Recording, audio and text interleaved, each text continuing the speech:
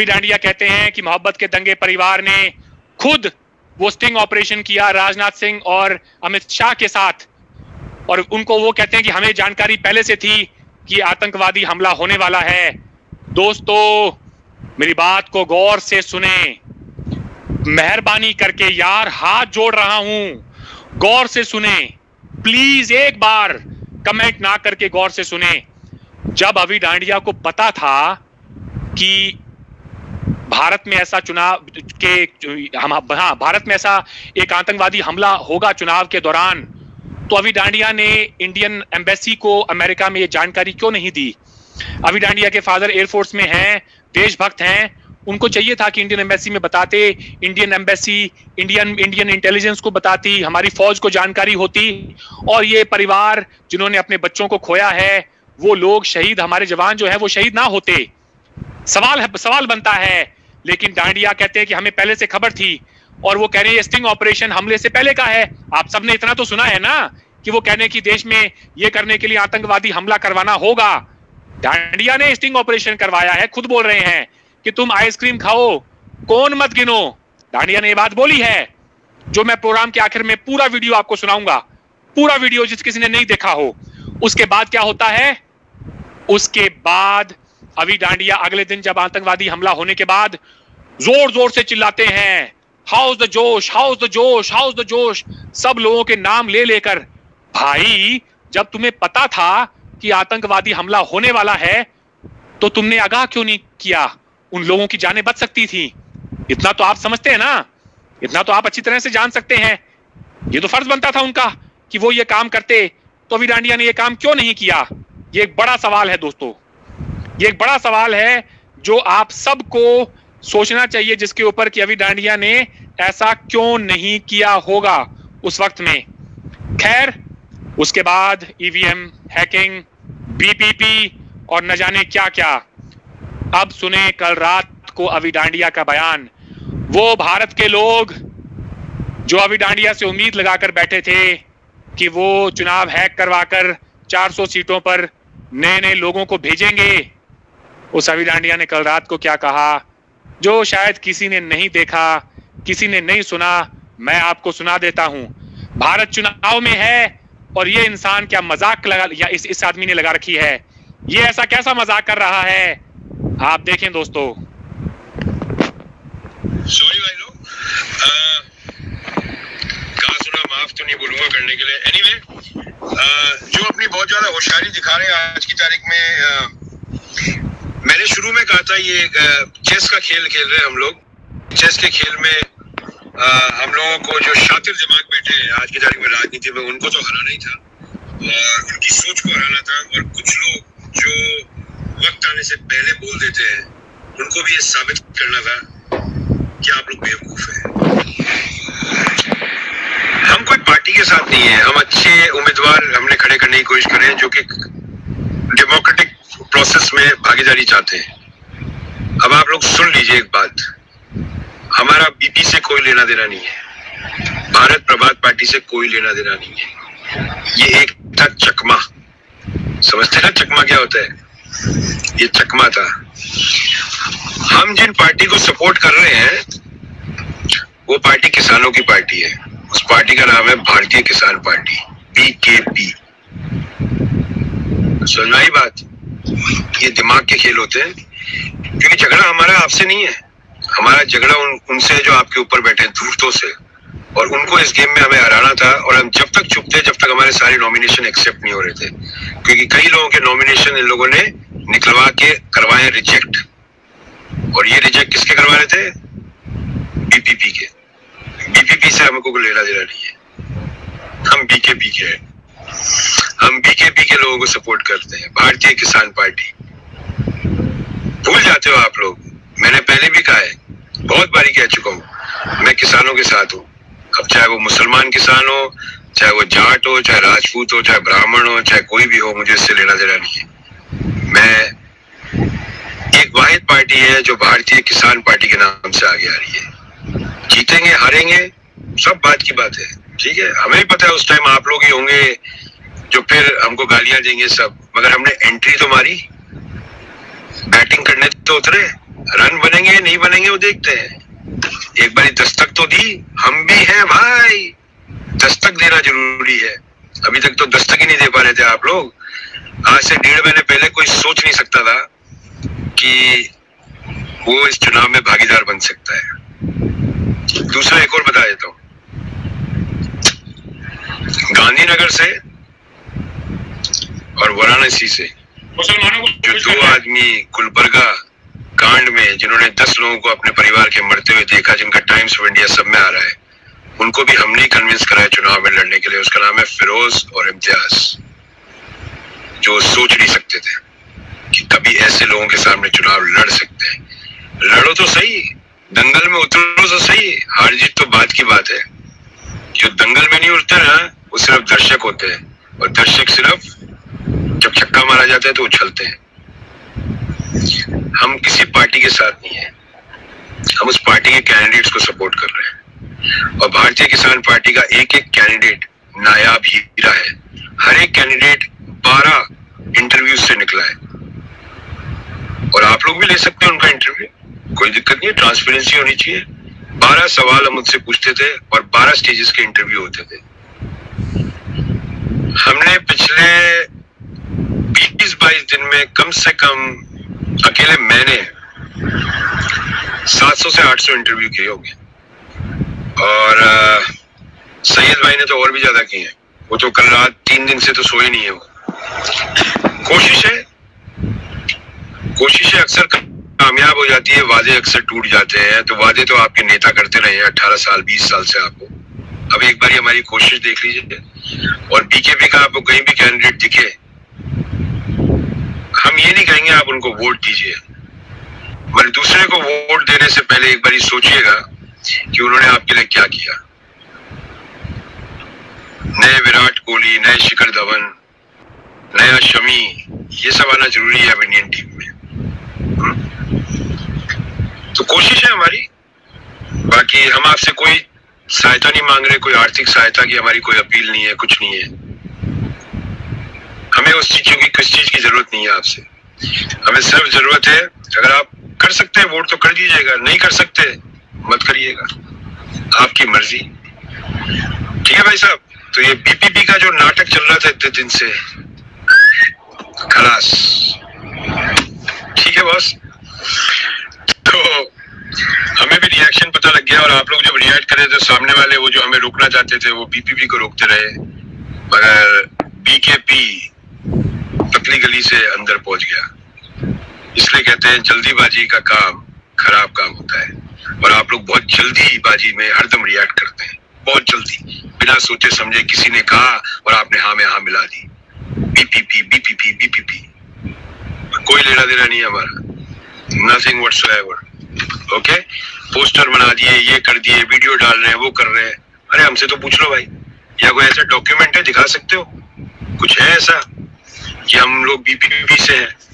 ऐसी बात तो हम हो ही नहीं सकते लीगली नहीं हो सकते। हम तो सिर्फ़ सपोर्ट कर सकते लीगली तो आप लोग होंगे एक से एक नायाब कैंडिडेट है। सब पोस्ट ग्रेजुएट्स हैं। सब कोई बिज़नेस करता है, कोई हाउस वाइफ है, कोई हाउस होम मेकर्स हैं। वुमन हमने कोशिश करी है तीस से पैंतीस परसेंट वुमन को आगे लाने के लिए। बड़ी बड़ी सीटों से बड़ी नायाब महिलाएँ जिन्होंने ज़बरदस्त काम किया समाज में, वो भी खड़ी हो रही है। खड़े तो हो, तभी तो चलोगे। जब खड़े ही नहीं होंगे तो फिर रेंगते रहोगे भाई। खड़े तो हो एक बारी। खड़े होने से क्यों डरते?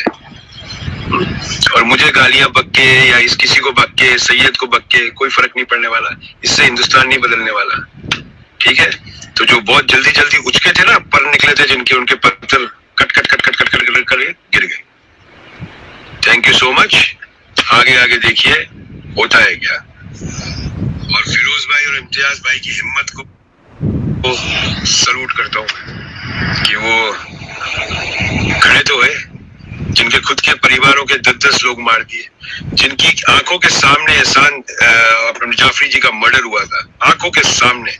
मुसलमानों को मुसलमानों से हमदर्दी लेने की कोशिश कर रहा है और साथ में मुद्दे को भटका भी रहा है। किसने दिलाई ये हिम्मत? एमकेडी परिवार ने हमारा काम हिम्मत दिलाना है हमारा काम चुनाव लड़ना नहीं है। चुनाव आप लड़ेंगे हम कोच कर सकते हैं। दैट्स ऑल कर सकते हैं। अपील ना करें कि बीजेपी को वो कर दो। तो देखते हैं आगे क्या होता है। हम तो हम तो पूरा ज़ोर लगा रहे हैं। मैं क्या लगा रहा हूँ? सैयद भाई लगा रहे हैं, शुदा भाई। मैं टेक्नोलॉजी का आदमी नहीं हूँ, मुझे पता भी नहीं है कैसे होता है सैयद भाई लगा रहे हैं, शुदा भाई। तो जो भी कर रहे हैं, ठीक कर रहे हैं। कुछ कर तो रहे हैं। चलो, वीडियो। देखो भाई, काफ़ी देर से बोल रहा हूँ, लगातार आपको बता रहा हूँ। क्या हो रहा है ये? ये इंसान कह रहा है, कोई पर्चा था क्या? कोई लीगल डॉक्यूमेंट था क्या जिससे साबित कर सको? कुछ भी नहीं था।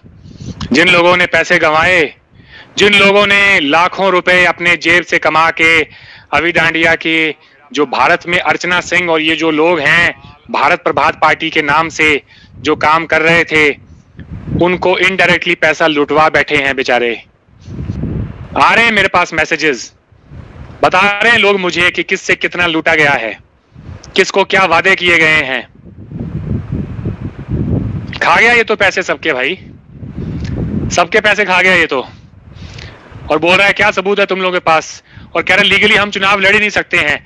जब तुम लीगली बीपीपी के साथ चुनाव नहीं लड़ सकते हो, भारत प्रभात पार्टी के साथ तो बीकेके के साथ कैसे लड़ सकते हो, जो कि भारत किसान पार्टी है? ये क्या मज़ाक है भाई? ये क्या मज़ाक है? भारत चुनाव में है। लोकतंत्र का यहाँ पर मेला लगा हुआ है। अपने भविष्य को चुना जा रहा है। और ये इंसान अनाउंसमेंट पर अनाउंसमेंट कर रहा है। आधी आधी रात को लोगों को बुला रहा है। पचास पचास हज़ार वीडियो शेयर हो रहे हैं। लोग इसको वीडियो भेज रहे हैं। इसने तो सबसे इंटरव्यू लेके अच्छे अच्छे बकरों को फंसा कर और ये तो माल लेके अपने हट लिए। और कह रहे हैं मॉरल सपोर्ट कर रहे हैं हम तो सिर्फ़। तो जब मॉरल सपोर्ट कर रहे हो तो फिर दस दस बारह इंटरव्यू क्यों ले रहे हो भाई? इंटरव्यू क्यों ले रहे हो फिर? जब तुम मॉरल सपोर्ट कर रहे हो तो। ये तो सवाल बनता है। मुझे बता दो यार। मुझे बता दो, एक बार और सुनाऊं क्या ये वीडियो अभी डांडिया का? लिख दो कमेंट्स में। दोबारा लिख दो कमेंट्स में। ये आदमी क्या बोल रहा है? सुन लो जरा गौर से। फिर ना कहना कि अरविंद ने वॉर्न नहीं किया। अरविंद बात नहीं करता, यार मेरे अच्छे खासे प्रोग्राम्स होते हैं। मैं नाम भी नहीं लेना था, मैं इस बंदे का चाहता अपनी जबान पर। मैं क्यों बोल रहा हूँ पिछले तीन चार दिन से? इसकी वजह ये थी दोस्तों, करोड़ों रुपए कमा चुका है ये शख्स एंड चुका है करोड़ों रुपए लोगों के। आने वाले दिनों में इससे जुड़ी और भी जानकारियाँ आपको दूँगा। फ़िलहाल तो आप इस पर सोचें। भारत प्रभात पार्टी, भारत प्रभात पार्टी लगाया हुआ था पिछले कुछ दिनों से। भारत के न जाने कितने लोगों ने इसे अपना हीरो बना रखा था। इसने तो सबका काम तमाम कर दिया। सीटी मार के बोल रहा है, over, game over game game खत्म। पैसा कमाओ, खेल खत्म करो। यही फंडा था इसका। अब देख लें, आपने अगर देखना हो भाई, एक बार और। मैं क्या बोल रहा था तीन दिन पहले और क्या मैं बोल रहा था? वो वीडियो अभी डांडिया के जैसे लोगों को मैंने सिर्फ़ एक चेतावनी दी थी। सच्चाई आज बता दी है पूरी सबके साथ, सबूतों के साथ। उस टाइम मैं इंतज़ार कर रहा था कि कुछ और सबूत आ जाएँ। हर बात के ऊपर जो है वो करने की ज़रूरत नहीं है। मैंने कोई अनाउंसमेंट नहीं करी है। मैंने कोई ऐसा बड़ा अनाउंसमेंट नहीं किया है कि पुलवामा का हमला किसने करवाया, किसने नहीं करवाया ईवीएम हैक हुई कि नहीं हुई, चुनाव कौन लड़ रहा है, किसकी सीटें कितनी आ रही हैं। हिंदू, मुसलमान क्या अरविंद ने कोई ऐसी बातें की है? कोई बंदा ये बता दे भाई। अगर अरविंद ने इस तरह की कोई बात की हो तो लानत है मेरे ऊपर, यार। लानत है मेरे ऊपर। मैं चाहता हूँ, हो सकता है आप लोग बोर हो, मगर एक बार फिर से यार, गौर से सुन लो इस बंदे के एक एक लफ्ज को। इंडिया में इलेक्शन हो रहा है और ये नई पार्टी चुनाव के बीच में घोषणा कर रहा है। इक्यानवे सीटों पर तो चुनाव हो चुका है। चुनाव के बीच में कोई भारतीय किसान पार्टी, नई पार्टी का कैसे अनाउंसमेंट कर सकता है? क्या मज़ाक है ये? और कह रहा है, सूजा से मेरा, कह रहा है, मैं और सूजा भाई बड़ी मेहनत कर रहे हैं। रफीक इनका जो बंदा है, वो तो कह रहा था, सूजा का कोई लेना देना ही नहीं है। नहीं, अभी डांडिया को लेना देना नहीं है, सारा काम तो सूजा का किया धरा है। अभी डांडिया ने तो एक बार भी नहीं कहा कि मैं और सूजा अलग अलग हैं। भारतीय प्रभात पार्टी से तो दूर हो गए हैं। लेकिन अभी भी साथ में है। साथ में इसलिए है कि अगर सूजा का नाम अभी डांडिया नहीं लेगा और अब जो ये किसानों को ठगने की कोशिश कर रहे हैं जो पहले भारत पर, भारत प्रभात पार्टी के नाम पर इन लोगों ने पैसा लूटा अब भारत किसान प्रभात पार्टी के नाम पे ये भारत किसान पार्टी के नाम के पैसा लूट रहे हैं। मैं नहीं चाहता कि हमारे किसान भाई जो पहले ही दुखी हैं जो पहले ही बहुत परेशान हैं वो अभी डांडिया के चक्कर में ना आए। इस पर बात करने के लिए आने वाले दिनों में किसान लीडर जो हैं, रमनदीप सिंह मान और उनके तमाम साथी जो पूरे भारत में घूम घूम कर किसानों को जागरूक करते हैं, मैं उनको भी आपके सामने लाइव लेकर आऊँगा। वहाँ भी पर्दाफाश होगा अभी डांडिया का, कि अभी डांडिया ने एक बार अपने लाइव प्रोग्राम के दौरान उन लोगों को क्या क्या झांसे दिए थे। अभी डांडिया ने कहा था, तीन लाख रुपए दो मुझे, मैं तुम्हें बहुत बड़ा, हर किसान को भारत के ऑन्ट्रप्रनोर बना के दिखा दूँगा। अभी डांडिया ने ये बात बोली थी, दोस्तों। एक बार फिर से सुन लो यार, ये बंदा क्या बोल रहा है? इंडिया इलेक्शंस में है। हम अपने लीडर्स को चुन रहे हैं। इसने तो पानी फेर दिया सब पे। पानी क्यों ना फेरे? आखिर पैसा हजम कर चुका है उन तमाम उम्मीदवारों का ये आदमी। एक बार फिर से सुन लो यार एक एक शब्द को गौर से सुनो। अरविंद, अभी डांडिया के चैप्टर को खत्म होने के बाद अभी अरविंद इस पे नाम नहीं लेगा लेकिन इसका काम तमाम मैं करके छोड़ूँगा। ये मैं वादा करता हूँ आपसे। मैं वादा करता हूँ जिन लोगों को शक है वो ये देखें कि अभी डांडिया के रोज हिंदू मुस्लिम के वीडियोस आते हैं। रोज मुसलमानों को भड़काता है। रोज भड़काता है वो। आप देख लें कि क्या अभी डांडिया ने कहा है। एक बार गौर से सुनो गौर से सुनो। सॉरी मांग रहा है सबसे। कहा सुना माफ़ तो नहीं बोलूँगा करने के लिए। एनीवे anyway, जो अपनी बहुत ज़्यादा होशियारी दिखा रहे हैं आज की तारीख में मैंने शुरू में कहा था, ये चेस का खेल खेल रहे हैं हम लोग, और ये चेस के खेल में हम लोगों को जो शातिर दिमाग बैठे हैं, आज की तारीख में राजनीति में, उनको हराना ही था, और उनकी सोच को हराना था, और कुछ लोग जो वक्त आने से पहले बोल देते हैं, उनको भी ये साबित करना था कि आप लोग बेवकूफ़ हैं।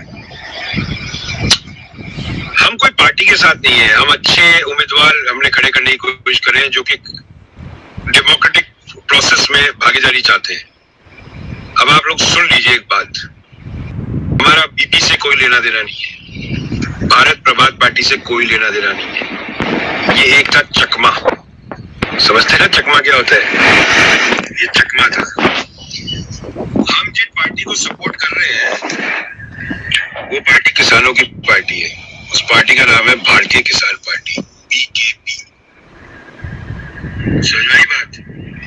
ये दिमाग के खेल होते हैं। क्योंकि झगड़ा हमारा आपसे नहीं है। हमारा झगड़ा उन, उनसे जो आपके ऊपर बैठे हैं, धूर्तों से। और उनको इस गेम में हमें हराना था। और हम जब तक चुप थे, जब तक हमारे सारे नॉमिनेशन एक्सेप्ट नहीं हो रहे थे।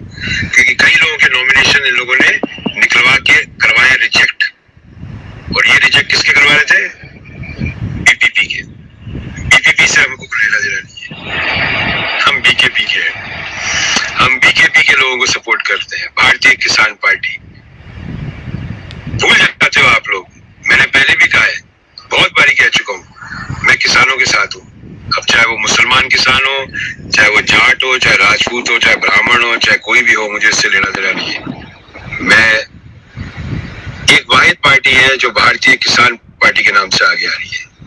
जीतेंगे, हारेंगे, सब बात की बात है। ठीक है? हमें भी पता है उस टाइम आप लोग ही होंगे जो फिर हमको गालियाँ देंगे सब। मगर हमने एंट्री तो मारी।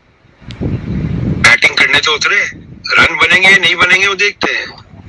एक बारी दस्तक तो दी। हम भी हैं, भाई। दस्तक देना ज़रूरी है। अभी तक तो दस्तक ही नहीं दे पा रहे थे आप लोग। आज से डेढ़ महीने पहले कोई सोच नहीं सकता था कि वो इस चुनाव में भागीदार बन सकता है। दूसरा एक और बता देता हूँ। गांधीनगर से और की बात है। तो सपोर्ट 700 से 800 इंटरव्यू किए होंगे। वो जो कल रात तीन दिन से तो सोई नहीं है वो। कोशिश है। कोशिशें अक्सर कामयाब हो जाती है, वादे अक्सर टूट जाते हैं। तो वादे तो आपके नेता करते रहे हैं, अठारह साल, बीस साल से आपको। अब एक बार हमारी कोशिश देख लीजिए। और बीजेपी का आपको कहीं भी कैंडिडेट दिखे, हम ये नहीं कहेंगे आप उनको वोट दीजिए। मगर दूसरे को वोट देने से पहले एक बार सोचिएगा कि उन्होंने आपके लिए क्या किया। नए विराट कोहली, नए शिखर धवन, नया शमी, ये सब आना ज़रूरी है इंडियन टीम में। तो कोशिश है हमारी।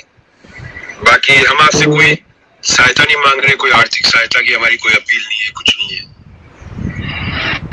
हमें उस चीज़ों की, किस चीज़ की ज़रूरत नहीं है आपसे। हमें सिर्फ़ ज़रूरत है, अगर आप कर सकते हैं, वोट तो कर दीजिएगा, नहीं कर सकते, मत करिएगा। आपकी मर्ज़ी। ठीक है भाई साहब तो ये बीपीपी का जो नाटक चल रहा था इतने दिन से, खलास। ठीक है बस।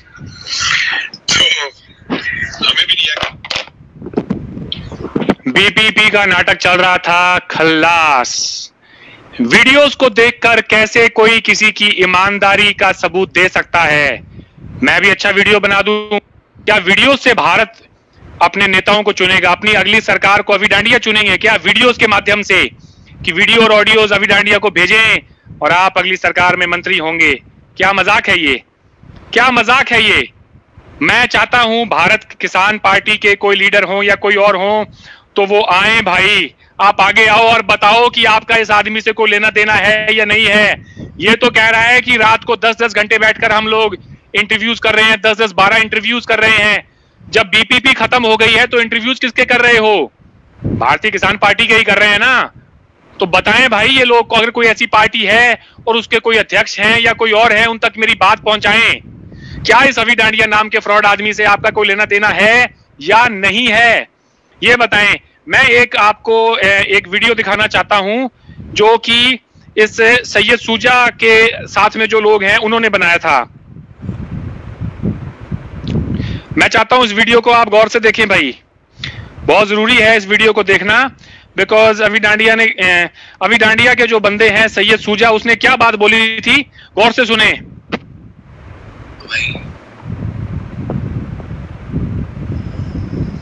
ग्यारह तारीख के दिन मैं लाइव स्ट्रीम करूँगा इन्हीं के एप्लीकेशंस और ये रोक नहीं पाएँगे मुझे लाइव स्ट्रीम करने से।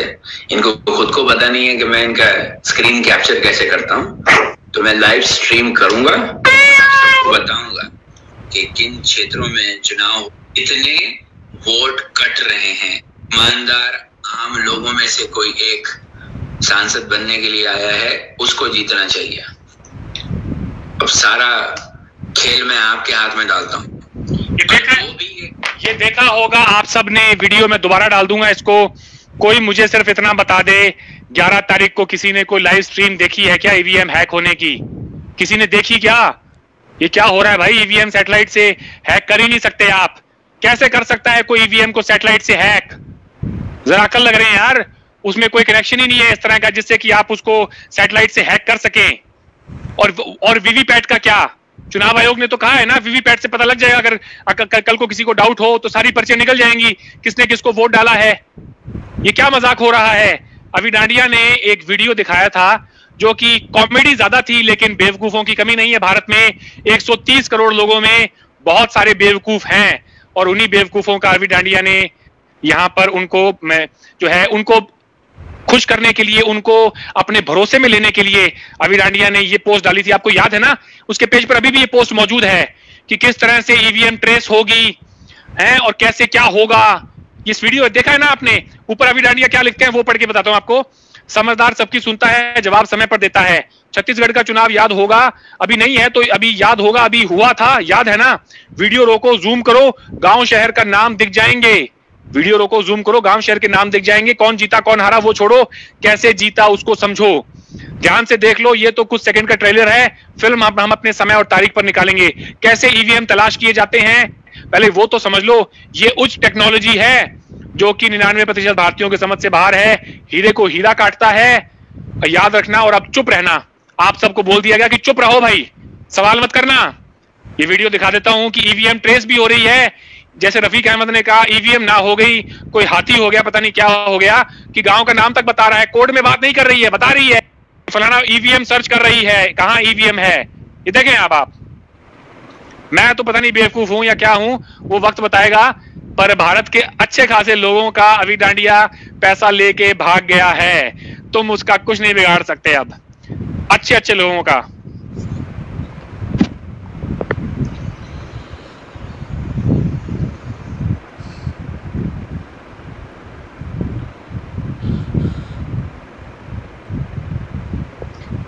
ये वीडियो ये वीडियो अभी डांडिया के पेज पर अभी तक तो मौजूद है। आगे का मुझे पता नहीं किसने देखना हो तो जाके देख लेना। अब मैं ये डिस्कशन खोलता हूँ आप सबके सामने। वो लोग जो भारत भारत किसान पार्टी के हैं वो भी कल को कांटेक्ट करें भाई। और कुछ लोग जो अभी तक डर रहे थे घबराओ मत। तुम लोगों से पैसा लिया है मैं जानता हूँ घबराओ मत। सामने आ जाओ और बताओ इसकी बातें भाई। मेरे प्रोग्राम पे चाहे मत आओ अपने अपने उस पर बताओ लेकिन उसको बे, बेनकाब ज़रूर करो। क्या मकसद हो सकता है इस आदमी का?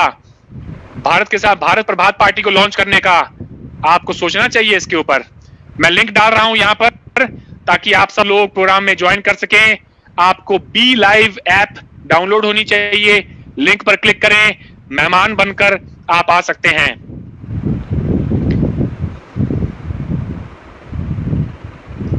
और इसमें तीन चार लोग एक साथ इकट्ठे आ सकते हैं। तो मैं प्रोग्राम में आप सबको बुलाना चाहता हूँ। जब भी अभी डांडिया को मुद्दा से जो मुद्दा वहाँ पर जो है भटकाना होता है अभी डांडिया क्या करता है? अभी डांडिया मुसलमानों को सहायता देनी शुरू उन, उनको उनके हक में बोलना शुरू कर देता है। परसों तो हद हो गई बोलता है मुसलमान को हिंदू गालियाँ क्यों देते हैं? भाई बताओ सोशल मीडिया पे हर कोई एक दूसरे को गालियाँ देते हैं। क्या अब हम इसके ऊपर प्रोग्राम करेंगे? ऐसा हो नहीं सकता। ये अच्छा अच्छा बहाना है लोगों को बेवकूफ़ बनाने का। एक घंटा मुझे ज़रूर लगा, लेकिन आपको बताया मैंने कितनी सारी जानकारी दी है कि अब भूल जाए, कोई भारत प्रभात पार्टी थी, पैसा कमा लिया है इन लोगों ने, और अब काम तम, काम तमाम हो चुका है भाई। मैं तो मुसलमान तो गालियाँ दे रहे हैं, बहुत सारे यहाँ पे एजेंट है, तू साले, किसका एजेंट हूँ? मेरा वोट ही नहीं है सालो इंडिया का। पागल हो गए हो क्या? एजेंट हूँ। बड़े आए एजेंट वेजेंट बनाने वाले। अपने पास रखो सालो एजेंट ठीक है? अभी तो बंदों को सामने लेकर आऊँगा ना, जिनसे पैसे ऐठे हैं, तब पता चलेगा कि किस बंदे ने कितने रुपए इस इन लोगों को दिए हैं। फिर नानी याद आ जाएगी। वैसे हुआ क्या? हवा निकल गई? हवा हवा निकल गई ना? बड़े बड़े चिल्ला रहे थे। अरे प्रभात पार्टी ये कर देगी, वो कर देगी। सूजा ये कर देगा, सूजा वो कर देगा।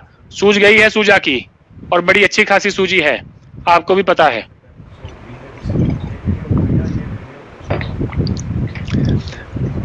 भाई, पिन कैसे होगा यार? माफ़ करें। मुझे नहीं पता ये इसमें। मैं इतना वो नहीं हूँ। पिन मुझसे नहीं मुझसे नहीं हो रहा यार पेंशन मैं तीन, चार दफ़ा डाल देता हूँ। हर थोड़ी थोड़ी देर में लिंक डालता रहूँगा। तो मैं एक दो मिनट का टाइम देता हूँ। आप लोग आ जाएँ भाई। जिस आदमी ने जो कहना है, जो मानना चाहता है, मेरे यहाँ पर ये नहीं होता कि मैं किसी को ये ये कर दूँ, वो कर दूँ। जिसने आना है वो आ जाए। खुला नहीं होता है, खुला। रोक ही नहीं सकता मैं। अभी डांडिया तो बटन दबाएगा, फिर तुम्हें लेगा। यहाँ तो फंडा ही नहीं है। बी लाइव की ऐप है ओपन है। स्टूडियो में आ जाए आप। दस दस बंदे स्टूडियो में वेट कर सकते हैं एक साथ इस पे। एक, दो भी नहीं है। दस बंदे। और ये भी देख लो कि अरविंद सारन कितनी बार बात करता है। अरविंद सारन इन लोगों पे बात नहीं करता है, ठीक है? पैसा खा लिया है, पैसा कमा लिया है, काम तमाम कर दिया है सबका। अब जाओ, भागो और अपने अपने घर पे बत्ती बुझा के खुज और खुजली करके सो जाओ। अभी डांडिया आप सबको बेवकूफ़ बना चुका है। मैं उन लोगों की बात कर रहा हूँ, जिन लोगों से अभी डांडिया ने पैसा ऐठा था। किसी से दो लाख, किसी से चार लाख, किसी से पाँच लाख रुपए तक अभी डांडिया ऐंठ चुका है। ठीक है? ले चुका है। क्या मकसद है वरना? बता दो भाई, क्या मकसद है? क्या मकसद है? आ जाओ भाई, कोई ज्वाइन कर लो, फिर मत कहना किसी ने बुलाया नहीं। अरविंद सारन कल भी पाकिस्तान पर बात करता था, आज भी पाकिस्तान पर ही बात करता है। आज भी प्रोग्राम के शुरुआत पे मैंने कहा कि तेरह अप्रैल है, जलियांवाला बाग का आज उसकी शहादत का दिन है। याद तो उन शहीदों को करना था, लेकिन बदकिस्मती से आज वक्त आ गया था इस खुलासे करने का बिकॉज़ अभी डांडिया का मैं कितने दिनों से इंतज़ार कर रहा था। मेरे अकाउंट पर ये पोस्ट मौजूद है भाई। कई दिनों से मौजूद है, मैंने कहा था, अभी डांडिया अपने आप को अलग कर रहा है इस पार्टी से जल्दी। और अभी डांडिया ने अलग किया है। अभी डांडिया ने अलग कर लिया है अपने आप को। है ना? चले जी, आ जाएँ। यहाँ पर एक शख्स आए हैं। देखते हैं कौन है। यहाँ पे मुझे एक ही, यहाँ पे मुझे एक ही बंदा दिखाई दे रहा है। अगर आप विंडो में नहीं दिखाई दे रहे हैं तो भाई पीछे जाएँ, दोबारा ज्वाइन करें। जी, दोबारा ज्वाइन करें। ये ब्लैक स्क्रीन आ रही है, मुझे नहीं दिखाई दे रहे हैं आप। जो भी है यहाँ पे। मुझे नहीं दिखाई दे रहे थे भाई आप। मैं अभी यूसुफ मोहम्मद साहब जुड़े हैं, मैंने इनको ऐड किया है।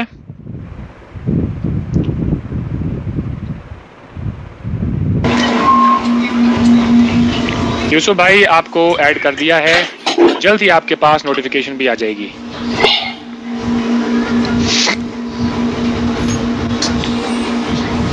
यूसुफ भाई, मेरी आवाज़ आ रही है आपको?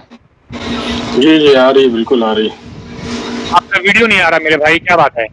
या मैं नहीं देख पा रहा हूँ? कोई कोई बात नहीं आप अपनी बात बोलें। पहले तो मैं सौ साल होने पे हमने जलियावाला बाग की जो है जो कहानी है उसके लिए बताऊँगा। उसके बाद सबसे बात करूँगा। आपको आवाज़ आ रही मेरी? जी मेरी आप जी आ रही है आपकी आवाज़ बोलें। जी, बस जलियावाला बाग कांड देख के बहुत बहुत अफसोस था कि आज़ादी आज़ादी हमें उसी वहीं से मिली, जो जलियावाला बाग हुआ, सौ साल उसके पूरे हो गए हैं।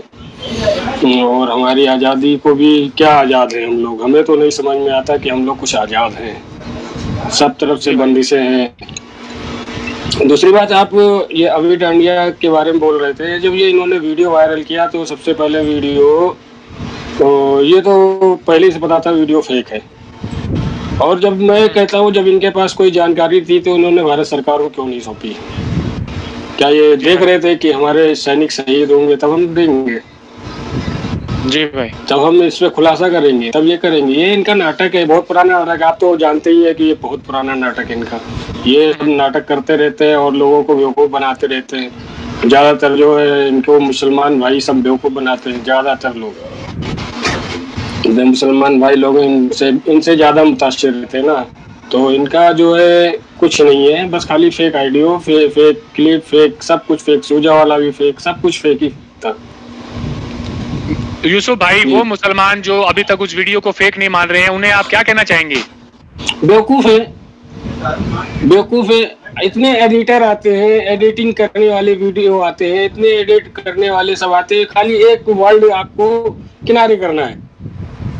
आप बोलेंगे मैं उनसे मिलने गया था। गया? और है मैं बीच में फ़र्क लगा दीजिए काम खत्म हो गया वहीं से।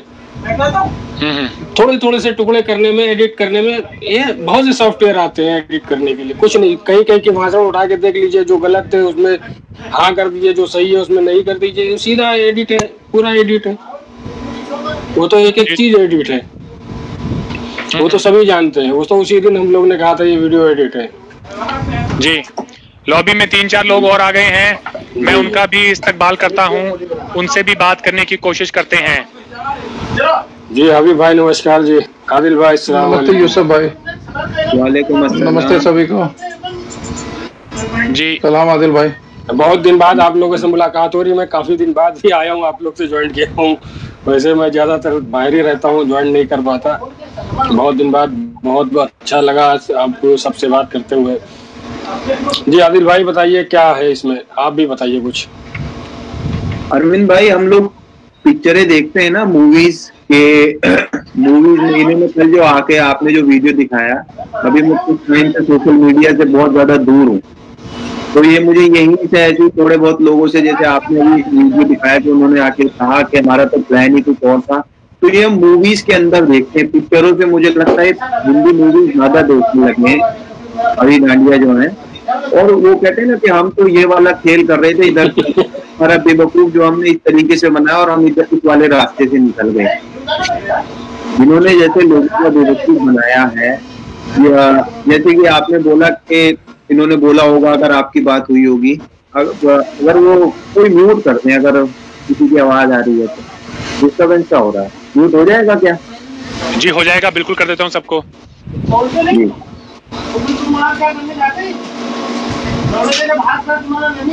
आवाज़ आ रही है हाँ। अब नहीं आएगी। फिर आने लगी। मैं बंद मैं, मैंने कर दिया म्यूट हाँ। तो जब जब इन्होंने मुझसे भी, जब मेरी इनसे बात होती थी, काफ़ी लंबे समय तक मैं भी इनके साथ जुड़ा रहा हूँ और मेरी बात हुई तो ये मुझे भी इस तरीके की बातें बोलते थे, अरे आदिल भाई, मेरी तो जो है, मुलायम सिंह यादव से जो है व्हाट्सएप पे बात चल रही है और आशु मलिक तो मेरा दोस्त है। आशु मलिक ने मुझे भी कांटेक्ट करने की एक बार उनसे मेरी बात हुई है, उनका मैसेज मेरे पास आया था, जो कैबिनेट में मंत्री भी रहे हैं, सपा पार्टी के। तो मुझे इस तरीके की बातें बताते हैं। आदिल भाई मेरी नीरज बवाना से बात हो रही है और इससे हरियाणा में उससे बात हो रही है और अब आप देखो हम कहाँ पहुँच रहे हैं तो ये ये इनका जो है शुरू से इनका आ, चलता रहता है। मुझे बोलते थे आप जो है बुल्गारिया में हो आप यहाँ अमेरिका आ जाओ मैं आपको स्पॉन्सर करता हूँ। उन्हें ये नहीं पता कि मुझे जो अमेरिका जाने के लिए वीज़ा की ज़रूरत नहीं पड़ती है। यहाँ पे हमें बस एक फॉर्मेलिटी होती है। तो ये इस तरीके से लोगों को बेवकूफ़ बनाने की कोशिश करते हैं। अब जब इन्होंने रफीक भाई ने इनका सारा खेल देख लिया कि भाई इन्हें तो कोई पार्टनरशिप मिल नहीं रही है या जो भी है तो वो दूर हो गए कि भाई अब जो है मुझे इसके ऊपर बातें नहीं करनी है। अब इनका जो है मेन मकसद यही हो रहा है कि किस तरीके से अब जो है हम लोगों को बेवकूफ़ बना बना के और नए नए तरीकों से पैसा ऐंठे। पहले इन्होंने जो है बिज़नेस स्टार्टअप बनाया बिज़नेस के नाम पे। फिर किसी और नाम पे, फिर किसी और नाम पे, अब ये राजनीतिक पार्टियों के नाम पे, अब इन्होंने जो जनता का जो बेवकूफ़ बना रहे हैं ये ये बड़ा खतरनाक है। और जो जैसे बार बार कहते हैं कि इंडिया की जनता जो है थोड़ी कम पढ़ी लिखी है जो इन्हें सुनते हैं वो थोड़े से मुसलमान तबका ज़्यादा है हमारा। तो वो भी वहाँ पे थोड़ा कम पढ़े लिखे रहते हैं ना तो वो समझ नहीं पाते चीज़ों को करना किस तरीके से। अब ये आ जाते हैं, बेवकूफ़ बनाते थे अब कोई बड़ी बड़ी डींगे हाकेगा, आके बैठ के मैं ही आके यहाँ रोज़ाना लाइव करके बोलने लगूं कि मैं ये कर दूँगा, मैं देश बदल दूँगा नए नए खुलासे करूँगा बाबा जी के और इसके, उसके। तो मुझे भी लोग बाग जो है सीरियसली लेने लगेंगे और इनको भी शायद सीरियस लेके और जब मैं खुद एमकेडी के अंदर बात कर रहा हूँ, जब मैं था तो मुझे भी बहुत सारे लोगों के मैसेजेस आते थे कि, आदिल भाई, आप इंडिया जा रहे हैं, हम आपको पैसे भेजेंगे। और पैसे भेजने के बाद आप वहाँ पे इवेंट करिए। मैंने सीरियसली बोला, मैं झूठ नहीं बोल रहा, अगर मुझे मैसेज बहुत पुराने हो गए। मुझे खुद लोगों ने बोला कि हम पैसे दे देते हैं आपको। तो तब ये बोलते थे कि एमकेडी पार्टी जो है पैसे नहीं लेती है। तो मैंने भी उनको यही बोला, अगर होंगे यहाँ पे दो चार लोग जिन्होंने मुझे बोला था, वो बता देंगे। तो मैंने यही बोला कि एमकेडी पार्टी जो है वो एमकेडी जो है वो पैसा नहीं लेती और हमें पैसे की ज़रूरत है नहीं। मुझे तो नहीं है पैसों की ज़रूरत कि मैं किसी का कोई सऊदी से मुझे मैसेज करते थे जो लोग बाग थे ज़्यादातर तो हम आपको पैसा भेजते। तो मुझे लगता है कि इन्होंने जो है पैसा ज़रूर लिया है, और इनका यही मकसद था, क्योंकि जब मैं कतर गया रफी भाई से मिलने के लिए, जब मैंने उनको ये बात बताई कि इस तरीके से जो है मुझे मैसेजेस आते हैं, क्योंकि मैं भी एक अच्छा खासा फेस हो गया था एमकेटी के अंदर तो मुझे इस तरीके के मैसेजेस आते हैं। तो रफीक भाई ने कहा कि कोई बात नहीं पैसा ले लेंगे, जब एक करोड़ लोग जुड़ जाएँगे तो हज़ार हज़ार रुपया ले लेंगे। तो तब मुझे लगा कि शायद जो है ये कुछ बड़ा प्लान कर रहे हैं। और फिर धीरे धीरे मैं इनसे अलग हो गया। इन्होंने भी मुझे अलग कर दिया और मैं भी इनसे अलग हो गया।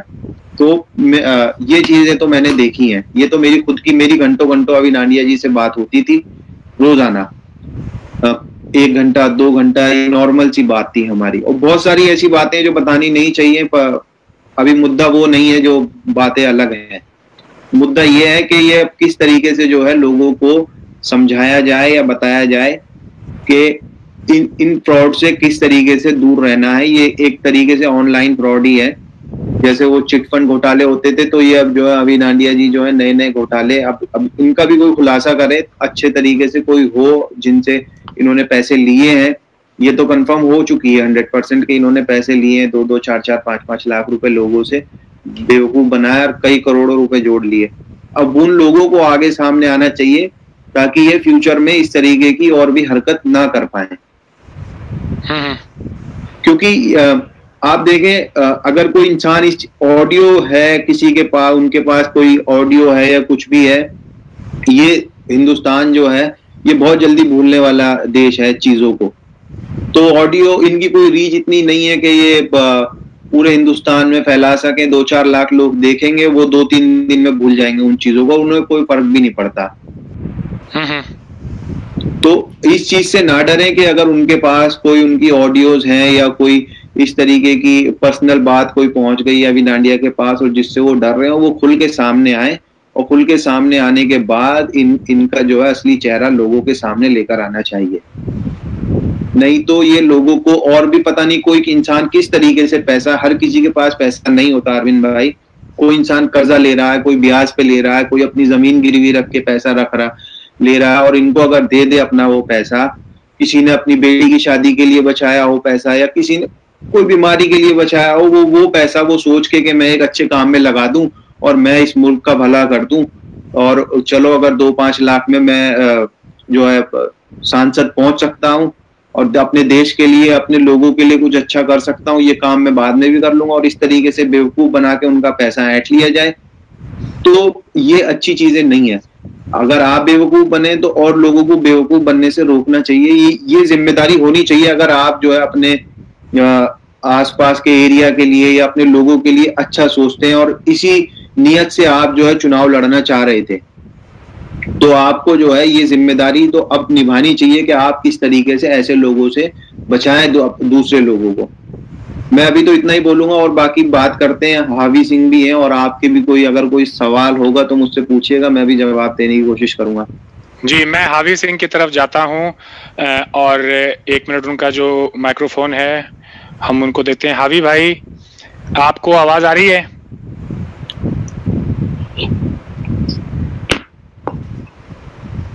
जी मुझे आ रही है आवाज़ आपकी। आपको मेरी आ रही है? जी मैं आपको सुन पा रहा हूँ।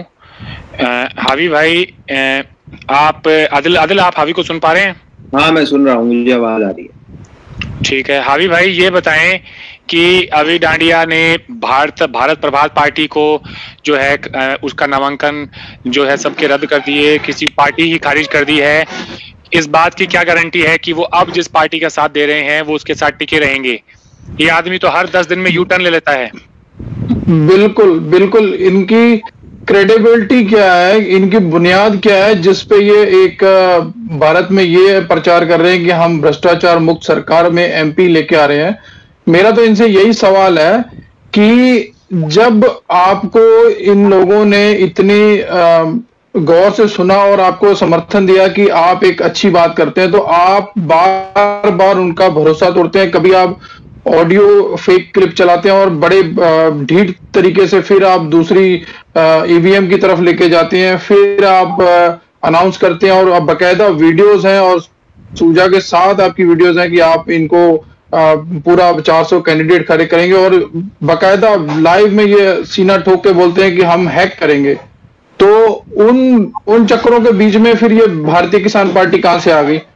और इनकी, अगर आप, आदिल, अगर आपको याद हो, इनकी इनकी ईमानदारी पे शक तभी होना शुरू हो गया था जब पप्पू खान वारसी भाई ने हमें बताया था, जब उनसे बातें होती थी हमारी मैसेंजर ग्रुप में तो वो बताते थे कि एमकेडी एक ऐसा ग्रुप है, उस जिसमें हम पैसा ना लेते हैं, ना देते हैं, सिर्फ़ जिसको कोई इवेंट करनी होती है या कुछ भी करना होता है, वो अपने पल्ले से पैसे खर्च करके एमकेडी का या किसी भी समाज भलाई का काम करता है। तो हम इसीलिए इस समाज में जुड़े थे कि इसमें भ्रष्टाचार की कोई उम्मीद नहीं है।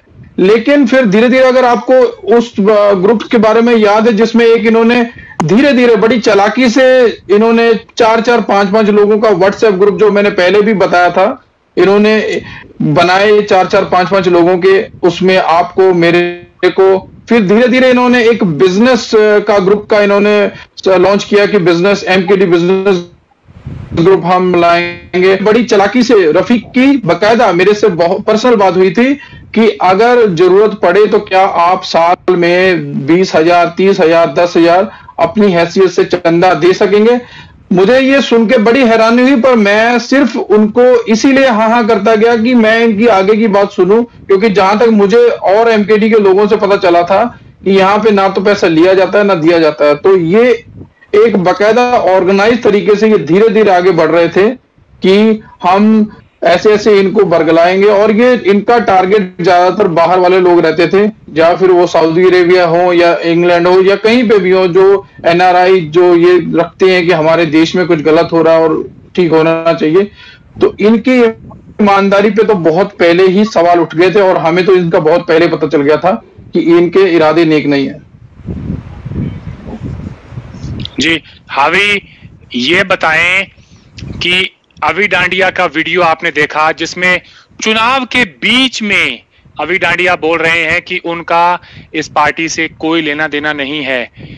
कितना बड़ा फ्रॉड है ये। मुझे मैं बोलता हूँ अगर जानकारी मिली है कि अभी डांडिया ये कदम उठाने वाले हैं बहुत जल्दी बिकॉज़ इनके पास पैसा आने वाला है। इसीलिए मैंने आज से चार दिन पाँच दिन पहले मैंने ये पोस्ट डाल दी थी कि जल्द ही अभी डांडिया अपने आप को इस पार्टी से अलग कर लेंगे, और वही हुआ। बिल्कुल।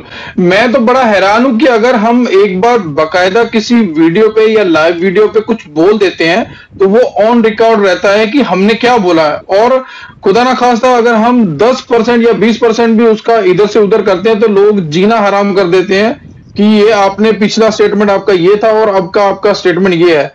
लेकिन इतनी मायूसी होती है कि ठीक है बीजेपी को कोई लाइक करता है, कोई नहीं करता है। मैं किस पार्टी को लाइक करता हूँ, नहीं करता हूँ, मुझे बीजेपी पसंद नहीं है। पर इसका मतलब ये नहीं है कि बीजेपी के नफरत के अंधेपन में मैं किसी भी मूर्ख को या किसी भी ऐसे चीज़ को मैं सपोर्ट कर दूँ जो कि हमारे ही समाज को बर्बाद करने में तुली हुई है।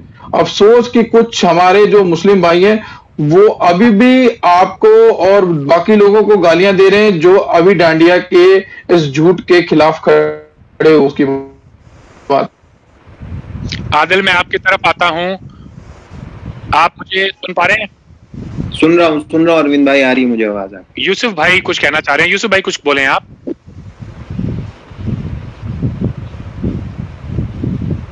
यूसुफ भाई तो स्क्रीन पर भी नहीं नज़र आ रहे। नहीं कोई बात नहीं उनको मुझे नज़र आ रहे हैं।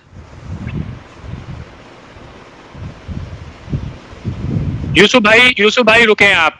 यूसुफ भाई आप अभी स्टूडियो में है नहीं। आपको मैं दोबारा आपको मैं ऐड कर रहा हूँ। माफ़ करें। मैं आपको ऐड कर रहा हूँ। जी। अभी अभी एक कमेंट हेलो आवाज़ आ रही? जी अब आ रही है आपकी आवाज़ जी बोले। जी अभी कमेंट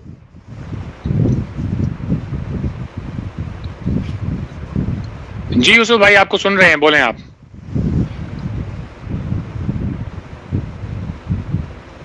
हेलो। इनकी फ्री फ्रीज हो गई इनकी स्क्रीन इनकी फ्रीज होगी। यूसुफ भाई, आप जो हैं बार ऐप को बंद करके दोबारा आए। मैं तब तक और लोगों से बात करता हूँ। हमारे साथ और भी मेहमान जुड़ रहे हैं। जो भी भाई बात करना चाहे, मैं आपको बता दूँ, एक ऐप आती है दोस्तों, जिसका नाम है बी लाइव बी ई ठीक है, उसके बाद में लाइव आप उस ऐप को डाउनलोड करें। जैसे ही ऐप डाउनलोड हो जाती है, मैंने जो यहाँ लिंक डाला है, आप उस लिंक पर क्लिक करें। लिंक पर क्लिक करते ही आप शो में आ जाएँगे और फिर आप आकर बात कर सकते हैं। जी, मैंने यहाँ पे उस कमेंट को जो है पिन भी कर दिया है ऊपर, जिस किसी को देखना हो वो देख सकते हैं। Please download B live app Adil, मैं आपकी तरफ़ आता हूँ। अभी डांडिया का एक ट्रैक रिकॉर्ड है। वो हर बाद से कुछ दिनों में उसका यू टर्न लेने के लिए वो एक हिंदू मुस्लिम मुद्दा खड़ा कर देते हैं। अभी परसों रात की बात है। अभी डांडिया किसी को, कोई हिंदू किसी को गालियाँ, पता नहीं दी भी है या नहीं दी, लेकिन अभी डांडिया उस आदमी को उकसा रहे थे, उस हिंदू आदमी को, और उसको ये बोल रहे थे कि तुम बताओ तुम मुसलमानों को गालियाँ क्यों देते हो? भाई, गालियाँ तो हर कोई सोशल मीडिया पे एक दूसरे को देता है तो क्या अब इस पर प्रोग्राम किए जाएँगे? ये तो एक बेवकूफ़ी वाली बात है और एक जिम्मेदार इंसान जो अपने आप को बताने की कोशिश कर रहे हैं, ये एक जिम्मेदार इंसान की जो है पहचान नहीं होती कि आप ऐसा नहीं है कि जो है हिंदू ही मुसलमानों को गालियाँ दे रहे हैं। मुसलमान भी हिंदुओं को गाली देते हैं। आप देखें, बहुत सारे आपको पेजेस ऐसे मिल जाएँगे जो, जहाँ पे मुसलमान लाइव आके गालियाँ देते हैं हिंदुओं को। तो ये तो एक बराबर की सी बात है। कोई ज़्यादा देता है, कोई कम देता है, पर ऐसा नहीं है कि एक ही तरफ़ से दबाया जा रहा है किसी भी इंसान को या किसी भी एक कम्युनिटी को। तो ये तो बेवकूफाना चीज़ें हैं, ये सिर्फ़ जैसे आप बोल रहे हो भटकाने वाली बातें हैं, ये गलतियाँ करते हैं थोड़े थोड़े दिन बाद आप देखें, पहले इन्होंने आसिफा के ऊपर गलती की, फिर उसके बाद जो है इन्होंने दूसरी एक और गलती करी क्या बाबा रामदेव का जो खुलासे लेकर आए थे, फिर उसके बाद और भी ये गलतियों पे गलतियाँ करते गए। और जब ये कोई गलती करते हैं इस तरीके की तो इनका पेज हैक हो जाता है और वो वीडियो डिलीट हो जाता है। आप आसिफा वाला देख लें या ये पुलवामा अटैक का जो इन्होंने फेक ऑडियो रिलीज़ किया था, ये भी इन्होंने डिलीट कर दिया। इनका वो सिर्फ़ वही चीज़ और कुछ दिनों के लिए जब इन्हें पता लगता है कि इन्होंने गलती की है तो ये उसे एक्सेप्ट करने की बजाय लोगों को और उन्हें कहने लगते हैं कि तुम्हारी गलती है उन्हें गलत ठहराने लगते हैं। जो ये चीज़ें सही नहीं है, एक मुझे तो ऐसा लगता है कि ये इंसान जो है अपने दिमागी इनका तवजुन जो है बिगड़ा हुआ है दिमागी तौर पे ये बीमार है। जी और हमें पप्पू खान वारसी ने ज्वाइन किया है। पप्पू खान वारसी एमकेडी से जुड़े हुए थे लंबे अरसे तक। मैं चाहता हूँ कि पप्पू भाई से कुछ सवाल जवाब किए जाएँ। हावी सिंह मैं आपको एक बार लॉबी में डालता हूँ और पप्पू खान वारसी को ऐड करता हूँ। पप्पू भाई अस्सलाम वालेकुम। वालेकुम सलाम अरविंद भाई नमस्ते। मुझे कोई और मेरे पास सूत्रों से खबर आई है कि अभी डांडिया ने बहुत सारे लोगों से पैसा ऐंठा है इस इस चुनाव के को, को लेकर। और अब अभी डांडिया जो है बिल्कुल साइडलाइन हो गए हैं। कल रात को बोल रहे हैं कि मेरा भारत प्रभात पार्टी से कोई लेना देना नहीं है जबकि 20 दिनों से वो लाइव आ रहे हैं इसके ऊपर। जी जी चलिए ये तो अभी समझ लीजिए करंटली बात है। अच्छा अरविंद भाई मैं ये बोलना चाह रहा हूँ ना आपका वीडियो मुझे दिख रहा है। आदिल भाई की भी नहीं दिख रही है। कोई बात नहीं आप स्क्रीन पर चल रहे हैं आप स्क्रीन पर चल रहे हैं आप अपनी बात कह सकते हैं। दुनिया देख रही है आपको। अच्छा ये तो खैर करंटली है अभी जो उन्होंने ये कहा कि मैं यहाँ से चेंज हो गया हूँ। मैं शुरू का थोड़ा सा बताता हूँ आप लोगों को कि कहाँ से उनका शुरू हुआ है ये सब गेम शुरुआत आपको शायद पता होगी क्योंकि आप भी थोड़ा बहुत जुड़े हो। तो सीवान के अंदर बिहार में एक चाचा थे कुछ उसकी कपड़े की दुकान थी या कुछ ऐसा था उसमें कुछ लोगों ने आग लगा दिया था या अपने आप लग गई थी कुछ ऐसा था मामला। तो जब वो बात हम लोगों का तक आई तो कोई डिस्कस नहीं किए कुछ बात नहीं की इन्होंने ऐलान कर दिया। वीडियो होंगे इनके वॉल पे शायद या आप लोगों ने भी सुना होगा कि लंदन से और अमेरिका से और कहाँ कहाँ से लोग दो तीन लाख चार लाख पाँच लाख देने वाले हैं। और अपनी तरफ़ से मैं बीस हज़ार रुपये देता हूँ। ऐसा उन्होंने ऐलान किया। शायद आप लोगों ने सुना होगा आदिल भाई को भी शायद मालूम होगा। बहुत से लोगों को मालूम है। तो चलो ठीक है उन्होंने ये कह दिया उसके बाद कोई डिस्कस नहीं कुछ नहीं। तो मैं जो है अपने रफीक भाई के बड़े भाई हैं। रफीक भाई से नंबर लिया उनका उनको फ़ोन किया बातचीत किया। तो जो हमसे हो सका किए। बात हो गई बात खत्म हो गई। हमने पूछा भी नहीं। एक साल के बाद एक वीडियो आया। जो मोहम्मद खालिद हुसैन है शायद कतर में रहते हैं।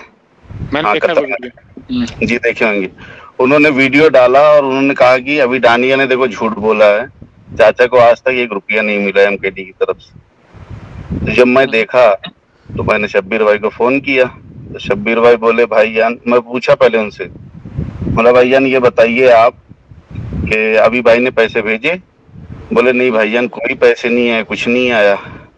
जो आप भेजे थे जो मुझसे हो सका और एक किसी का नाम लिए सऊदी से एक लड़के ने किसी ने और भेजा था थोड़ा बहुत।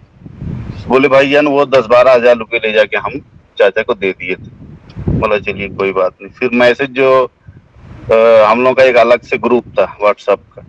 उसमें सिर्फ़ हम ही छह सात लोग थे और कोई नहीं था। तो उसमें मैंने मैसेज छोड़ा कि जब करना नहीं था तो ऐलान क्यों किए आप? फिर उससे रफीक भाई भी बोले फिर इन्होंने कोई सफ़ाई नहीं दी। दो दिन के बाद बोले, अरे, हमने नहीं दिया तो क्या हुआ? तो वहाँ से मैं समझ गया कि कुछ ना कुछ जो है, इनके दिमाग में चल रहा है, बंदा सही नहीं है।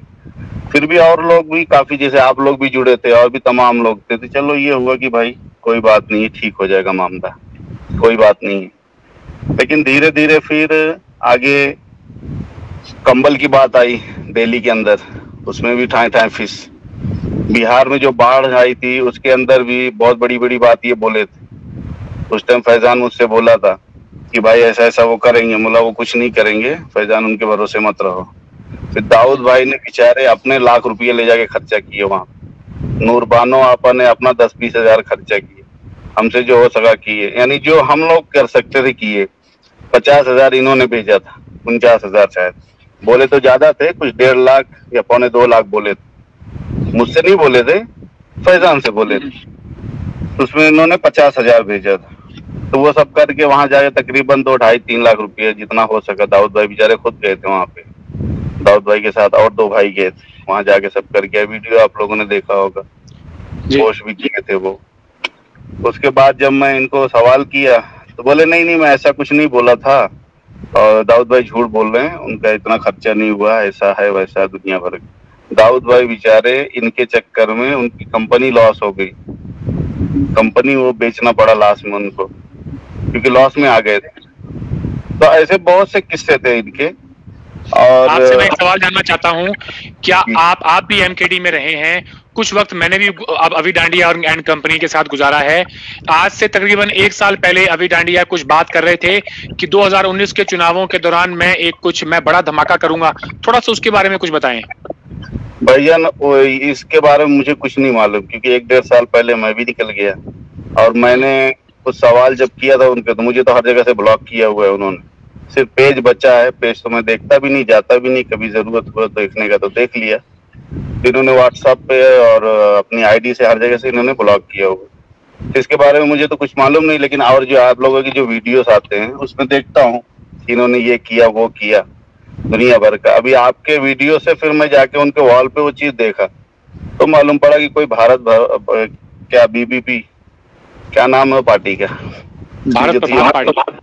हाँ भारत प्रभात पार्टी इन्होंने बनाई है। उसमें लोगों को नॉमिनेट कर रहे हैं ये कर रहे हैं वो कर रहे हैं। ये सब हम्म। सिर्फ़ लोगों को बेवकूफ़ बनाने वाली बात थी। मैं तो वहीं से समझ गया था ना जब ये पार्टी नहीं थी कुछ नहीं था सिर्फ़ एमकेडी था जिसमें हज़ारों लोग जुड़े थे। और ये सच है भाईजान कि जितने लोग थे उस टाइम जो खास खास लोग सबों ने अपनी अपनी जेब से पैसे लगाए हैं। अगर कोई इवेंट करना हो कोई प्रोग्राम करना हो तो अपने अपने जेब से लगाए। चाहे दिल्ली में अंजुम सिंह हो और मैं हुआ फैजान हुए या रफीक भाई हुए शुरू शुरू की बात है लेकिन जैसे जैसे इनका ये सब लोगों को पता चलने लगा तो लोग दूर होते गए। हालाँकि आज जो है कोई जुड़ा नहीं है इनसे जो पुराने हैं बस उनमें हिम्मत नहीं है कि आगे सामने बोलने की। चाहे वो रफीक भाई हो फैजान हो अरशद भाई हो अशरफ भाई इन लोगों में हिम्मत नहीं है बोलने की कि आगे सामने सामने बोलेंगे भाई तुम चोर हो। तुमने लोगों को बेवकूफ़ बनाया है। तुम्हारा काम ही यही है। तुम कैसे हीरा व्यापारी हो यार? समझ में नहीं आता। हम्म, ये सब चीज़ें मैं मेरा मुझे ब्लॉक इसीलिए किया गया कि मैं बोलता था। पहले भी बोलता था। और मुझे भी इन्होंने ऑफ़र किया था। होटल में मैनेजर की नौकरी का एक लाख रुपये डेढ़ लाख रुपये सैलरी का। हमने कहा भाई हमें नहीं चाहिए। जी आदिल कमा- आदिल आदिल एक पॉइंट रखना चाह रहे हैं। आदिल की तरफ़ आता हूँ। आप पप्पू भाई आप साथ में बने रहे। जी आदिल। पप्पू भाई ने जो बात बोली है वाकई में ही जो है किसी में पता नहीं क्यों इतनी हिम्मत नहीं हो पाती। वो अभी डांडिया जी को क्या वो समझते हैं कि पता नहीं उनके पास ऐसी क्या सुपर नेचुरल पावर है या क्या चीज़ें हैं उनके पास कि वो वहीं से उन्हें बैठ के जो है नहज नहज कर देंगे मैं नहीं कर रही बोलना चाहिए। अभी कुछ दिन पहले डॉक्टर सुप्रिया आके सूजा को तो बोल रही है। रफीक भाई सूजा को बोल रहे हैं। फैजान भाई सूजा को बोल रहे हैं। सीधा क्यों नहीं कह रहे कि सूजा को लेकर कौन आया? सूजा को कौन जानता था? सूजा को लोगों के सामने रिप्रेजेंट किसने किया? और कौन अभी भी पूजा के साथ में जो है कंटिन्यूस कर रहा है? तो वो क्यों नहीं बोलते कि आप गलत हैं? जैसे कि जब मैं था, मैंने कोई एक, मैं लेकर बैठा तो उन्होंने मेरी बात समझने की कोशिश नहीं करी। और रफीक भाई जो एम के पार्टी अध्यक्ष वो भी है, उन्होंने आके जो अनाउंसमेंट किया कि आदिल जो है वो एमकेडी परिवार का हिस्सा नहीं है, ये नहीं है, वो नहीं है। जब इतनी बड़ी बड़ी गलतियाँ अभी डांडिया करते हैं और आप इसे परिवार कहते हैं, किसी एक खास इंसान की ऑर्गेनाइजेशन नहीं है ये तो आप आके क्यों नहीं बोलते जब आप इतने बड़े जिम्मेदार बन के बैठे हुए हैं तो आप अपनी ज़िम्मेदारी निभाते क्यों नहीं है? आप कहते तो हैं कि हम देश को जागरूक करना चाहते हैं, आप जागरूक कैसे करेंगे? जब आपके जो बड़े भाई फ्रॉड कर रहे हैं लोगों के साथ में उनकी आँखों में धूल झोंकने की कोशिश कर रहे हैं तो आप ये बात क्यों नहीं बताते अगर आप खुद जिम्मेदार हैं और आप अपनी जिम्मेदारियों को समझते हैं तो आपको बताना चाहिए कि भाई ये आदमी फ्रॉड है चाहे उसने चाहे कोई अभी हो। चाहे यही सवाल मैं यही सवाल मैं पप्पू भाई से भी पूछता हूँ। पप्पू भाई जी भाई। सूजा को लाने वाले सूजा को प्लेटफॉर्म देने वाले तो अभी डांडिया है। तो मोहब्बत के दंगे के परिवार के जो लोग हैं रफीक वगैरह वो अभी डांडिया को क्यों नहीं कहते कि भाई तुमने इसको प्लेटफॉर्म दिया है तुम इसको बार बार इंट्रोड्यूस कर रहे हो? भाई मैं कितनी बार इन लोगों को बोला हूँ अलग से मैसेज तक किया हूँ कि भाई बोलो। अगर बोलते हो कि एमकेडी सच्चाई के साथ है तो सबसे बड़े झूठ तो अभी डांडिया बोलते हैं। पहले उनके खिलाफ बोलो उनको बाहर निकालो। एमकेडी बोलते हो ना एमकेडी सबके लिए बराबर है, किसी एक का नहीं है। तो अभी डांडिया को बाहर करो। और दूसरी बात यह है भाईजान, कि सूजा आज आके बोलता है कि हमने 2014 में एबीएम हैक किया। चलिए ठीक है, मान लेते हैं उसकी बात। उसके बारह पंद्रह लोग मार दिए गए, ये भी बात मान लेते हैं। ये बच बचा के अमेरिका पहुँच गया, ये भी बात मान लेते हैं। ये बताइए कि इंडिया की इतनी बड़ी एजेंसी है हमारी, जिस शख्स को ढूंढ नहीं पाई उसको अभी डांडिया ढूंढ के निकाल रहा है और लाइव दिखा रहा है लोगों को। इतना इतना सेंस नहीं है लोगों में। कॉमन सेंस नहीं है। क्योंकि सोचा नहीं होगी कि कल को ये बंदा सूजा ही ना निकले। हाँ। वही बोल रहा हूँ भाईजान की जिस सूजा को हमारी एजेंसियाँ नहीं ढूंढ पाई ये बंदा बोलता है हम एक साल से जानते थे मुझे एक बंदे का मैसेज आया नाम नहीं लूँगा। उसने कहा भाईजान ये पिछले एक साल से इसको जानते हैं इसके कांटेक्ट में सूजा के। ये लंदन का जो प्रेस कॉन्फ्रेंस किया सूजा ने इससे पहले से अभी डांडिया जानते हैं। तो बोला अभी डांडिया सूजा को कैसे जानते हैं? और फिर अभी डांडिया को कैसे पता? कि 2014 में जो हैकिंग हुई है सूजा को सूजा नहीं किया है। दोनों मिलके किए हैं क्या? बेवकूफ़ समझ रहे हो क्या हमें? तो अब ये बताएँ कि अब अब ये बताएँ पप्पू भाई कि आपने वीडियो देखा होगा नहीं देखा तो मैं दोबारा पोस्ट करूँगा। अभी डांडिया ने तो पल्ला झाड़ लिया है उस पार्टी से अपना कह रहे मेरा कोई ताल्लुक नहीं है। हाँ हाँ मैं देख रहा था मैं ड्राइव तो कर रहा था लेकिन मोबाइल साइड में लगा के देख रहा था आपने वीडियो चलाया था। मैं देख रहा तो वो तो सीधा सीधा बोल देते हैं ना। तो एमकेडी के लिए कई बार बोल चुके हैं मेरा क्या लेना देना है? मेरी ज़िम्मेदारी है क्या? आप लोग करो आपका देश है मुझे ना वहाँ रहना है ना मुझे वहाँ कुछ करना है ना मुझे वहाँ से कमाना है ये है वो है ना मुझे वहाँ टैक्स पे करना है आप करो। तो सीधा ही बोल दिया तो उनको मिल गया होगा। अगर लोगों से पैसे लिए देखिए जब तक सबूत नहीं भाईजान मैं नहीं बोल सकता किसी कुछ भी। हम्म। अगर लोगों से उन्होंने पैसे लिए हैं तो लोग आए सामने बोले प्रूफ देख हाँ भाई मैंने अभी डांडिया को पैसे दिए हैं। आके लोग वो बोले लाख रुपये लिए या पाँच लाख लिए या एक रुपया लिए आके बोले सामने से। मैं तो दावे का बोल सकता हूँ ना कि अभी डांडिया हमने आके पप्पू खान वासी ने मेरा एक रुपया लिया अभी डांडिया तो छोड़ो जितने भी एम में। कोई आके बोल दे या किसी भी डांडिया की गलत हरकतों से मैंने समझौता किया हो।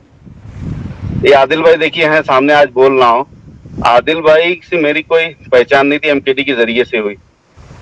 एक गलती आदिल भाई, चाहे उन्होंने की, नहीं की, मुझे नहीं मालूम। मेरे कानों तक आई मैंने उन्हें अनफ्रेंड कर दिया आज तक हमारी आदिल भाई की बातचीत नहीं हुई। पूछ लीजिए आप। एक बार उन्होंने मैसेज में लिखा, कहीं पोस्ट पे लिखा था, क्या पप्पू भाई, हमारा आपका रिश्ता एमकेडी तक ही था? मैंने कहा हाँ भाईजान एमकेडी के ज़रिए से हमारी आपकी पहचान हुई। लेकिन आपकी हमने एक गलती सुनी, हमके आपको हमने अनफ्रेंड कर दिया।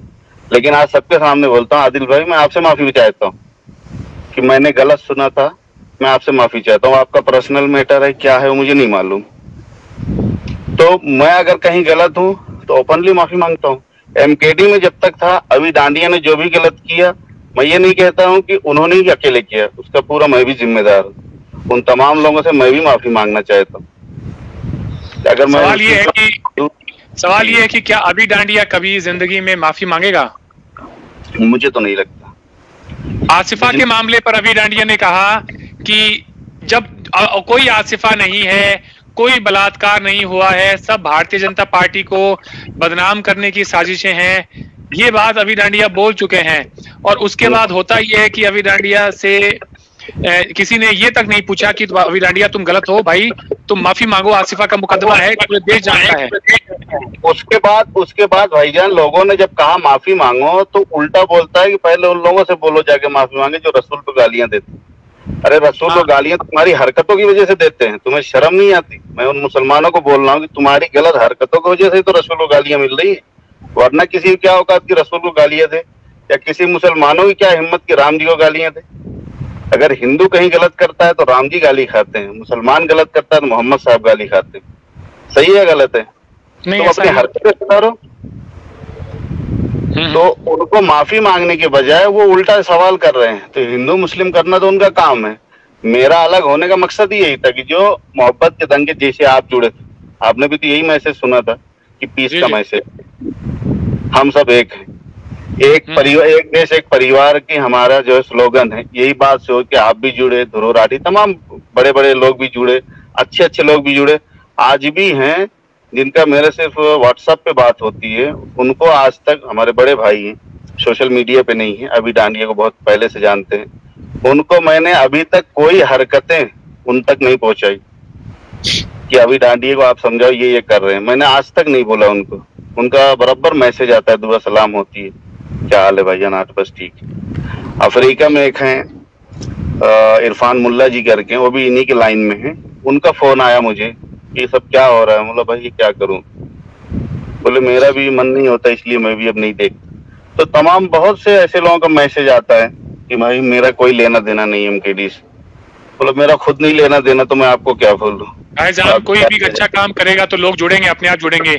लेकिन जब एक आदमी हावी हो जाता है किसी भी संस्था के ऊपर तो वो उस संस्था का पतन वहीं से शुरू हो जाता है। बिल्कुल। और ये सबसे बड़ी गलती मेरे साथ उन तमाम लोगों की है जो खास थे। चाहे रफीक अहमद हो अरशद हो अशरफ हो फैजान हो ये ये जो खास लोग हैं जो अपने आप को खास बोलते हैं इनको ओपन बोलना था कि अभी डांडिया तुम ये गलत कर रहे हो। तुम्हारी हिम्मत कैसी हुई ये सब बात करने की? पुलवामा अभी डांडिया तो- अभी डांडिया क्या एमकेडी से ऊपर है? नहीं बिल्कुल नहीं।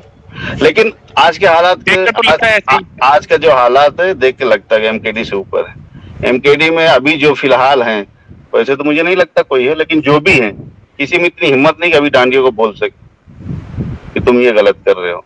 तो अभी क्या बोला जाए? ठीक है लोगों को बेवकूफ़ बनाए। और हिंदुस्तानियों की आदत भी है बेवकूफ़ बनने की। तो बेवकूफ़ बने पैसे जी आदिल कुछ कहना चाह रहे हैं। आदिल प्लीज़ कुछ कहें आप।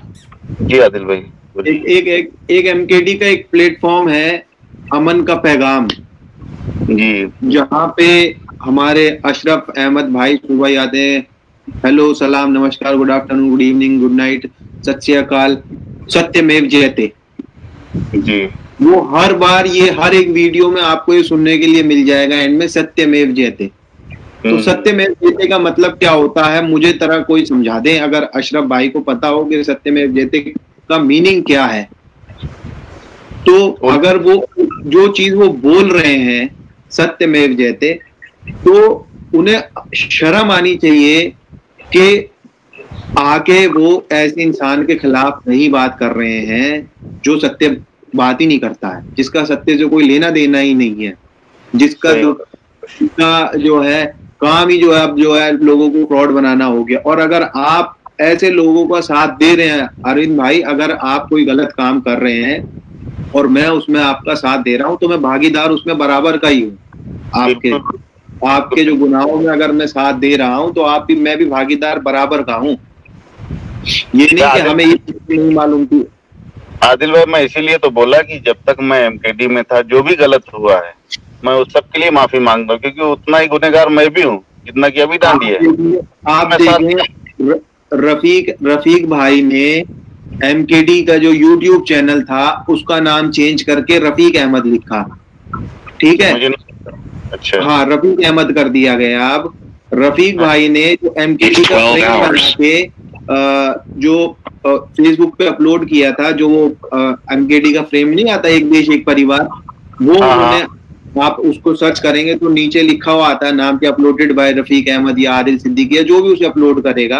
हाँ, आप आप जाके देखें अगर उसे तो रफीक भाई ने अपनी आईडी से वो डिलीट कर दिया है। किसी अंसारी ने वो दोबारा से अपलोड किया है वो फ्रेम अच्छा तो अच्छा। जब आप चुपके से अलग हो रहे हैं वैसे तो आप लोगों को जागरूक कर रहे हैं मैं बार बार वही बात बोल रहा हूँ। आप लोगों को जागरूक करने की कोशिश कर रहे हैं लोगों को बचाने की कोशिश कर रहे हैं संविधान सिखा रहे हैं लोग बाग लोगों की ठगी में ना आए नेताओं के नेता जैसे उन्हें ठगते हैं उनका वोट लेकर उनसे। ये क्यों नहीं सोच रहे? ये है वो चैनल जिसका रफीक अहमद नाम है बिल्कुल सही कह रहे हैं। बिल्कुल। मोहब्बत के दंगे का उन्होंने चेंज करके अब उसको रफीक अहमद कर दिया। और अगर आप फेसबुक पे मोहब्बत के दंगे परिवार का जो स्टिकर है, जो उनका लोगो है, वो भी जाके देखेंगे तो वो भी रफीक भाई ने डिलीट कर दिया तो बहुत सारी चीज़ें हैं, आप चुपके से क्यों कर रहे हैं? आप खुल के क्यों नहीं बात कर रहे? जब आप जो है प्राइम मिनिस्टर के ऊपर बोल सकते हैं सीएम के ऊपर बोल सकते हैं, अपने अपने जो है जो आपके एरिया के सांसद हैं, उनके ऊपर बोल सकते हैं तो आप एक अभी डांडिया के ऊपर क्यों नहीं बोल सकते? भाई इसलिए सीएम सीएम और पीएम पे इसलिए बोल रहे हैं सीएम और पीएम से कभी सामना नहीं होगा। अभी डांडिया से कभी सामना हो गया तो? हो गया हो गया तो क्या बात है? सा- तो यही तो बात है यही तो बात है कि वो आप में वो हिम्मत होनी चाहिए कि अगर गलत कर रहा है तो- जैसे पप्पू भाई ने बताया जी सवाल ये एक सवाल यहाँ बनता है कि पिछले कुछ दिनों से अभी डांडिया खुलासे पर खुलासे कर रहे हैं। रफीक अहमद भी मोहब्बत के दंगे हैं। आज वाले वीडियो में भी अभी डांडिया ने कहा कि हम एमकेडी से हैं वो भी एमकेडी से हैं। तो वो रफीक अहमद ये तो नहीं कहते कि इससे एमकेडी का कोई लेना देना नहीं है हम ये सब नहीं कर रहे हैं जो कुछ भी है। नहीं वो कहेंगे ही नहीं। वो कहेंगे ही नहीं। वो नहीं कहेंगे। मुझे नहीं पता कि उन्हें उन्हें भी जो है हो सकता है। देखें हर हर एक चीज़ के पीछे इंसान का अपना एक स्वार्थ भी होता है अरविंद भाई। तो हो सकता है कि जो है रफीक भाई को उन्होंने लालच दे रखा हो कि भाई, रफीक भाई, मैं तुम्हें अमेरिका में जो है जॉब दिला दूँगा और मैं ये तुम्हारा काम कर दूँगा, जैसे कि वो करते हैं बातें। जो आदमी बीस हज़ार रुपए जो अमेरिका के डॉलर में तीन सौ तीन सौ डॉलर के करीब जो है बैठेगा, वो नहीं भेज सकते और वो बातें करते हैं, फ़ोन करके आपको कहते हैं, मैं 200 डॉलर महीने का भेज दूँगा, मैंने इतने करोड़ डॉलर है मेरे पास, ये मेरा हीरो का मैं व्यापारी हूँ। मैं जब से इंग्लैंड में मूव हुआ हूँ अरविंद भाई आप यकीन माने और आप मेरे साथ सोशल मीडिया पे जुड़े हुए हैं आपको बहुत अच्छे से पता होगा मैं कितना मैं आप लोगों से बात कर पाता हूँ हम्म, हम्म। जब से मैं यूके में एक अच्छी वेल डेवलप कंट्री के अंदर जो है मूव हुआ हूँ अच्छा, हम्म। हाँ मैं यूके में आ गया खैर एक अच्छा। खबर जो कि मुझे काफ़ी दिनों से मिल रही थी उसको आज बहुत सारे लोगों ने प्रूव भी कर दिया और अभी डांडिया ने उस पर मोहर लगा दी कि उनका बीपीपी से अब कोई ताल्लुक नहीं है। और मुझे ये खबर काफ़ी दिनों से आ रही थी कि अभी डांडिया लोगों से पैसा ले रहे थे, इलेक्शन फाइट करवाने का। और उन लोगों को टारगेट कर रहे थे, जिन लोग जो लोग वनरेबल थे, जो कि आसानी से चंगुल में फंस सकते थे, उनको ब्लैकमेल कर रहे हैं, उनके ऑडियोज वगैरह उनके पास है, उन लोगों से पैसा भी उन्होंने ले लिया है।